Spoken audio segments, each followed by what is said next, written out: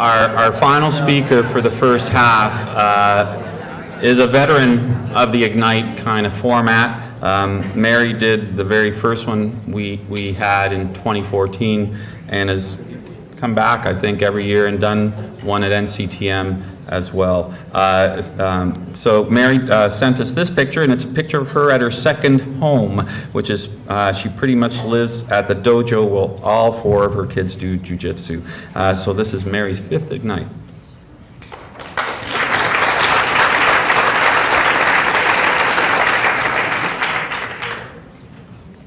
All right, what do these people all have in common? Sir Isaac Newton, mathematician, uh, physicist, and astronomer. Marie Sklodowska-Curie, the first woman to win a Nobel Prize in physics and chemistry. And Theodore Seuss Geisel, author of over 50 children's books. All notable figures in history, and all introverts. I am both shy and introverted, and those terms are not synonymous. I'm the person who hangs out in the kitchen with the dog at a party. So you might think it's a little crazy that I'm up here doing this right now, but I really want to give all the quiet kids in my classroom and yours a voice. They have great things to say, and we have to figure out how to get that out of them. So I'd like you to picture yourself in a classroom. Close your eyes if you like. You ask a question. Whose hand shot up? Could you really clearly picture that kid? We notice the extroverts. It's hard not to. Society, including school, often favors extroverts. Susan Cain released a book entitled introverts, no, it doesn't. Quiet, that's it. the power of introverts in a world that can't stop talking, uh, in which she wrote, there is a shared bias against shyness and introversion in our society.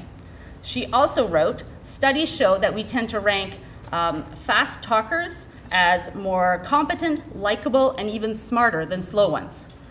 And it's true. Introverts tend to listen more than they talk, but quiet can often translate to focus and creativity. So we need to figure out how to bring out the best, all the strengths in both the introverts and extroverts in our classrooms. So how do we do that? Sara VanDerWerf blogged about name tents last summer, so I decided to try it. The idea is each student writes their name on one side of the paper, and on the back is a feedback form.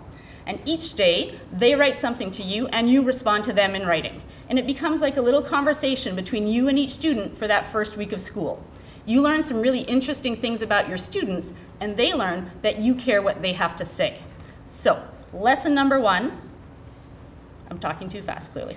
Recognize the power of writing. If you ask me a question orally, I may not be able to form fully coherent sentences because of the anxiety I'm feeling in that moment. But ask me in writing, and we're good to go.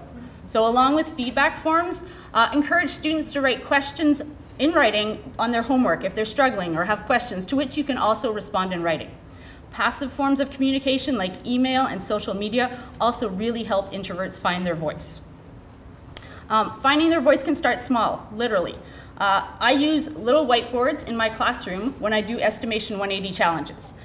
Every student needs to write down their estimate on their whiteboard and hold it up for me to see. And for some of them, this is really, really difficult. They don't want to be wrong. It's hard to be wrong, but we need to help them become risk takers.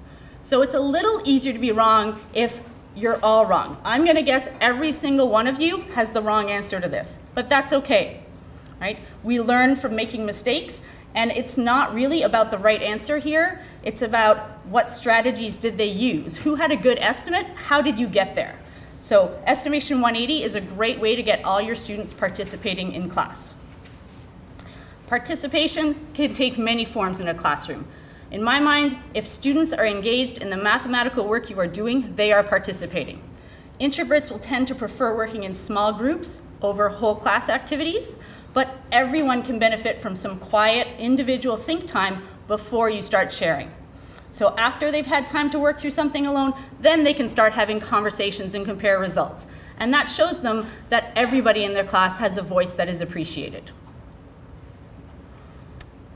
Their voice is important. There we go. Uh, um, introverts who are confident and passionate about a topic will talk a lot.